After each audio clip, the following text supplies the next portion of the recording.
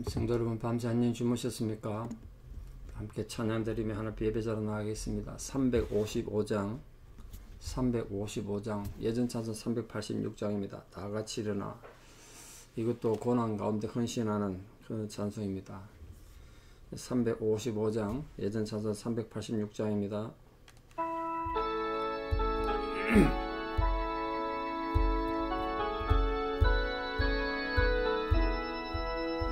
다 같이 일어나 용감히 싸워라.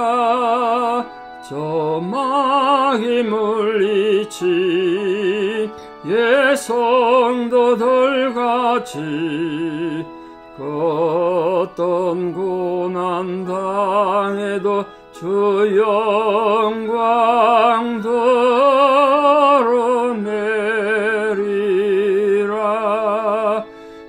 예성도 걸어가 거기를 따라서 이 거룩한 싸움 널 싸워 이기며 이 세상 유혹 물리쳐 내 주만 따라가리라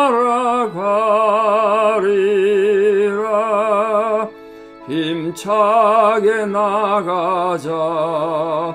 건 싸움 할 때에 주님의 강한 손 내 능력 되시며 저 마귀 너희 물리쳐 늘 승리하게 되리라 주님만 의지해 힘차게 나가자. 이 거룩한 싸움 곳곳이 나리니 저 성리의 멸류관을 내 주가 주시리로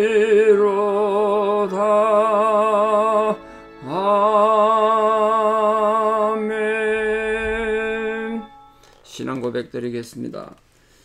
나는 전능하신 아버지 하나님 천지의 창조주를 믿습니다. 나는 그의 유일하신 아들 우리 주 예수 그리스도를 믿습니다. 그는 성령으로 잉태되어 동정녀 마리아에게서 나시고 본디오 빌라도에게 고난을 받아 십자가에 못 박혀 죽으시고 장사된 지 사흘 만에 죽은 자 가운데서 다시 살아나셨으며 하늘에 오르시어 전능하신 아버지 하나님 우편에 앉아 계시다가 거기로부터 살아있는 자와 죽은 자를 심판하러 오십니다. 나는 성령을 믿으며 거룩한 공교회와 성도의 교제와 죄를 용서받는 것과 몸의 부활과 영생을 믿습니다. 아멘. 2023년 7월 7일 금요일 새벽 하나님 주신 말씀 요한계시록 3장 7절에서 8절입니다. 요한계시록 3장 7절에서 8절입니다. 봉독에 올리겠습니다. 빌라델비아 교회의 사자에게 편지하라. 거룩하고 진실하사 다윗의 열쇠를 가지시니 곧 열면 닫을 사람이 없고 닫으면 열 사람이 없는 그가 이르시되 볼지어다 내가 네 앞에 열린 문을 두었으되 능히 닫을 사람이 없으리라. 내가 네 행위를 아노니 네가 작은 능력을 가지고서도 내 말을 지키며 내 이름을 배반하지 아니하였도다. 아멘. 이 초대교회 일곱 개 대표 교회 중에 우리 앞에 봤던 두 번째 서머나 교회와 또 여섯 번째 빌라델비아 교회는 책망이 없는 주님의 칭찬만 있는 아름다운 교회입니다. 우리가 본받아야 될 교회가 아닌가 싶습니다. 자, 빌라델비아는 어떤 도시였는지 잠깐만 좀 살펴보겠습니다. 우리 어제 본 사대교회로부터 동남쪽으로, 동쪽으로 하면서 남, 남쪽으로 내려갑니다. 한 40km 떨어져 있는, 어, 여기도 역시 고온 도시입니다. 지금 다 터키 지역인데요. 뭐 터키 지역이 대부분 고온 도시가 많죠. 근데 이곳은 너무 아름다워서 작은 에덴이다. 에덴 동산 같다. 별명에 걸어붙을 정도로 이 문화의 꽃을 피웠던 곳이고 또 포도 생산지로 지금도 유명합니다. 아, 특히 이 AD 1세기 당시에 어제도 제가 말씀드렸습니다만 이 무역로가 굉장히 발달되어 있다 그랬지 않습니까? 아, 그 최고의 이 영로가 있는 그 옛날에 말 타고 가서 말 맡겨놓고 또 가고 하는 그 영로라 그러는데 그 여기 있는 그런 도시였습니다. 우리 비단길 있지 않습니까? 그 실크로드가 지나는 굉장히 중요한 도시였습니다. 그러니까 그 당연히 그러면 상업이 발달할 수밖에 없겠죠. 상공업이 발달해서 부를 많이 축적했고 그 정치적 군사적으로 중요한 도시였습니다. 뭐 대개 그런 도시가 세워졌겠지만 어, 그러나 소아시아 일곱 교회 중에 가장 어, 짧은 역사를 가진 도시입니다. 기원전 한 2세기경에 버가모의 왕이었던 아탈루스 2세에 의해서 이 빌라델비아라는 도시가 세워집니다. 이 도시가 세워진 이유는 이 버가모 왕 아탈루스가 자기 동생 유메네스를 되게 사랑했나 봐요. 그 자기 동생을 사랑해서 그곳 이름을 도시를 세웠다. 동생 기념했어. 그래서 필라델포스예요. 필라델포스. 형제의 사랑이다. 형제 사랑. 형제를 사랑하는 자. 도시 이름이 그렇습니다. 자, 이곳은 지진이 많기로 유명해서 어, 지금도 뭐 지진이 이 지역에 많이 나죠. 얼마 전에도 이집 근처에 지진 난 걸 우리 뉴스에 보셨습니다. 그 이 지진 때문에 많은 고대도 피해를 많이 입어서 로마 2대 황제였던 티비리우스가 이곳 주민들을 위해서 많은 희생을 하고 도시 재건을 많이 도와줬습니다. 그래서 황제에 대한 감사 표시로 황제가 얼마나 감사했겠습니까? 그래서 이 도시 이름을 필라델피아에서 어, 네오, 네오 가이사라. 네오란 말이 새로운 뜻인데 가이사라는 황제잖아요. 황제에게 감사해서 우리는 새 황제의 도시다. 황제가 세운 도시다. 어, 그렇게 이름을 바꿀 정도로 황제에게 감사한 마음을 표했던 도시입니다. 그러니까 당연히 황제 숭배가 이곳에 심했겠죠. 그래서 황제 숭배가 나중에 이 로마 전역에서 가장 중요하게 정착되는 곳이라 나중에 네오코로스라고 부릅니다. 네오코로스. 신전 관리자라는 뜻인데 신전 관리자. 황제 숭배를 위해서 관리하는 자들 이런 뜻으로 이 도시가 이름이 바뀌었으니까 우상 숭배가 심했겠죠. 어, 또 로마 정부와 밀접해 있었고 우상 숭배가 심하고 신전 관리자라는 이름을 가질 정도로 우상이 심했던 나라 이 도시에서 신앙을 잘 지킨다는 건 얼마나 힘들었겠어요. 그런 와중에 빌라델피아 교회가 세워진 겁니다. 빌라델피아 교회는 어떻게 시작됐는지는 알려진 바는 없습니다. 안타깝게도 누가 개척했는지 알 수는 없습니다. 그러나 기원 2세기가 들어오면서 안미아라는 여선지자가 이 교회를 관할했는데 한 60년간 관할했습니다. 그 엄청난 부흥을 이루었습니다. 그 고대 시대에 벌써 여자 목회자, 여자 지도자가 있어가지고 교회가 이렇게 알려질 정도로 부흥했다는 참 놀라운 일이죠. 우리 사도행전에 보면 아가보와 그 빌립의 네 딸이 등장하는데 어, 그녀들하고 어, 대등한 위치에서 어, 대단한 지도력을 발휘했고 또 예언의 은사, 그 말씀을 잘 전했나 봐요. 뭐 예언의 은사는 말씀을 만난다는 뜻인데 예, 교회 성장에 큰 도움을 줬습니다. 이 교회의 성장으로, 이 빌라델피아 교회 성장으로 이 유대인들이 어, 이후에 예루살렘이 멸망당하고 난 뒤에 떠돌이가 많았다고 유대인들이. 그 떠돌이 유대인들이 예수를 믿게 되는 굉장히 큰 어, 역할을 했던 그런 교회가 빌라델피아 교회가 되겠습니다. 2세기 초에 그 안디옥 교회 감독이었던 이그나티우스라고 유명한 교부가 있는데요. 어, 그분의 편지글에 유대인에 대한 내용들이 어, 나올 정도로 유대인에 관한 염려를 완전히 이제 불식시켜줬다. 빌라델피아 교회 때문에.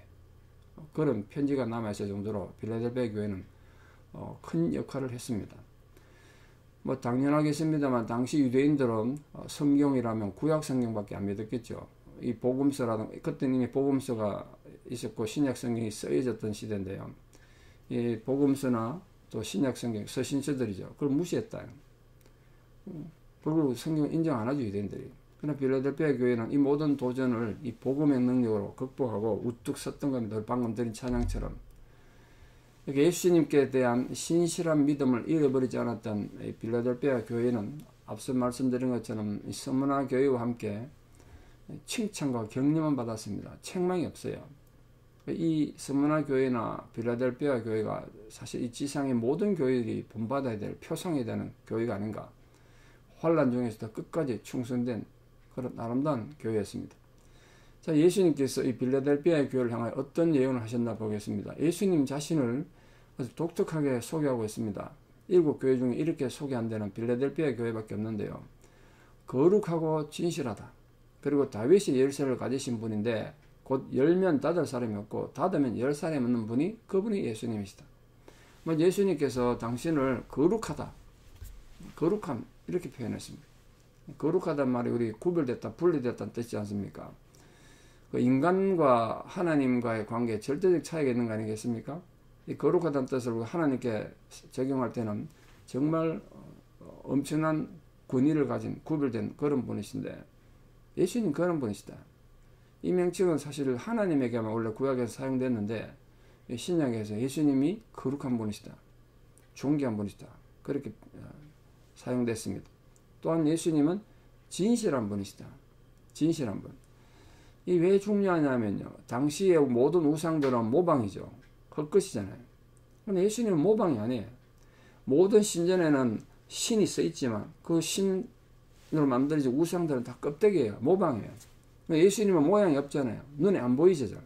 그러나 그분은 모방이 아니라 실제다. 실제. 절제 완전하신 분들. 참된 진리 그 자체시다. 예수님은 하나님 그분 자체시고 진리와 생명 그 자체시다. 그래서 진실하신 분이시다. 또 이분은 다윗의 열쇠, 다윗 집의 열쇠를 가지고 계셔서 열면 닫을 자가 없고 닫으면 열 자가 없다. 엄청난 권위를 말하죠. 이 열쇠는 왕정국가 시대 권위와 통치의 상징이었습니다. 그래서 많은 나라들이 왕권을 상징하는 그 왕권, 왕을 나타낸 국기에 열쇠가 많이 들어가 있습니다. 이 권위를 상징하는 거죠. 그 다윗의 집은 하나님의 통치하시는 이스라엘 전체를 상징적 분명히 가르칠 텐데 이 본문은 어, 이사야서에 등장하는 말씀이 좀 인용된 것 같은데 히스기야 왕의 국고 맡은 장관인 엘리야김이 등장하는데 그 엘리야김에게 하나님 계시가 전해지는데 그때 하나님께서 이렇게 계시하셨단 말이에요. 내가 다윗의 집에 열쇠를 그 어깨에 두리니 그가 열면 닫을 자가 없고 닫으면 열 자가 없으리라. 비슷한 내용이죠. 그 이미 그 엘리야김에게 어, 하나님께서 예루살렘 취입을 맡기셨는데 그처럼 예수님은 새 예루살렘이라 할 수 있는 그 하나님 나라에서 절대적 권한을 가지신 분이시다. 그러니까 모든 인류가 생명과 사망으로 판가름 날 텐데 그 결정하신 분은 주님이시다. 그러니까 예수님을 통해서 우리는 생명의 길로 가는 거고 예수님께 어, 심판받아서 사망으로 가는 거죠. 그래서 이 필라델피아 교회를 해서 볼지어다 내가 네 앞에 열린 문을 두었다. 이렇게 칭찬했습니다. 열린 문. 이게 복으로 붙인 거죠. 뭐 열린 문이 무슨 의미냐? 빌라델피아 교회가 아까 지정학적 위치가 중요한 도로 사정이 중요한 위치라고 그래서 그렇게 이 도로를 나타내는 그런 의미로 추정하기도 합니다만 뭐 그런 의미는 아닌 것 같고요. 분명히 보면 복음 전파 의 기회로 해석하는 것도 받아들이기 어렵습니다. 왜냐하면 내 말을 지키며 내 이름을 배반치 아니하였도다. 지금 그렇게 지금 말씀하시는 걸 봐서 빌라델피아 교인들이 많은 시련과 고난 중에서도 복음과 또 사도들의 가르침에 충성을 다했다는 거예요. 그게 결국 열린문이란 이 신실한 성도들, 빌라델피아 교인 같은 충성된 성도들이 하나님 나라 들어갈 때 통과하는 문, 그게 열린문이에요. 열린문. 천국 가는 문. 열린 문을 천국 가는 문 이렇게 해석하시면 좋겠습니다. 다른 데 어디서도 없었는데 이 빌라델피아 교인들에게 천국 가는 열린 문을 약속하셨어요. 사실 그 유대주의자들의 많은 박해와 또 유대주의 이때까지 박해가 많았지 않습니까? 할례 받아야 구원받는다. 예수님으로만 안 된다고 말했고 또 율법도 지켜야 된다. 뭐 그런 내용들이 많았는데 그런 걸 다 극복하고 신앙의 지조를 지켰던 이 빌라델피아의 교인들 또 그런 성도들은 하나님 나라에 들어갈 수 있는 증거로 열림을 준 겁니다. 그 당시 많은 사람들이 박해를 받고 또 유대교의 위협 때문에 기독교를 떠나는 배교하는 그런 많은 어려운 상황 속에서도 하나님만을 소망할 수 있었던 이유는 외적으로 드러난 나라의 권위나 유대인들이 가졌던 그런 세상적인 권력이 아니었어요. 그들은 단지 이 본문 말씀처럼 작은 능력, 네가 작은 능력을 가지고도 내 말을 지켰다 이 말. 뭐 그대로 가진 건 약했어요. 힘이 미약해. 오늘 우리도 마찬가지입니다. 육신의 건강이 안 좋고 상황이 힘들고 어려서 우리가 가진 건 작은 능력일 수밖에 없어요. 그럼에도 불구하고 그 작은 능력으로라도 그 미약한 힘을 가지고도 주님께서 허락하신 소명을 감당하고 충성하고 헌신하고 열정을 가지고 살아갈 때 그때 하나님께서 우리에게도 열린 문을 주시는 거 아니겠습니까? 사랑하는 모든 성도들도 우리가 모든 현실적인 신앙의 역경을 딛고 고난을 딛고 육신의 질병을 극복해내고 끝내 구원의 문에 들어갈 수 있는 그 열린 문을 들어갈 수 있는 건 바로 주님의 은혜로 들어가는 거 아니겠습니까?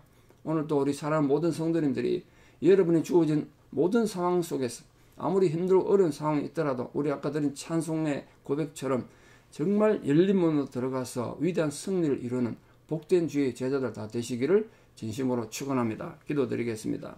아버지 하나님, 오늘도 세상은 힘들고 어렵습니다. 많은 소식들이 많은 뉴스들이 세상이 말세라는 것을 증명해 주고 있습니다. 그러나 주의 백성들은 이 고난과 말세의 징조 가운데서도 우뚝 세워질 줄 믿습니다. 모든 성도님들이 정말 작은 믿음을 가지고 작은 힘을 가지고라도 충성하고 헌신하여 하나님께 인정받고 주님께 주님께 칭찬 듣는 귀한 성도들 되게 도와주시옵소서.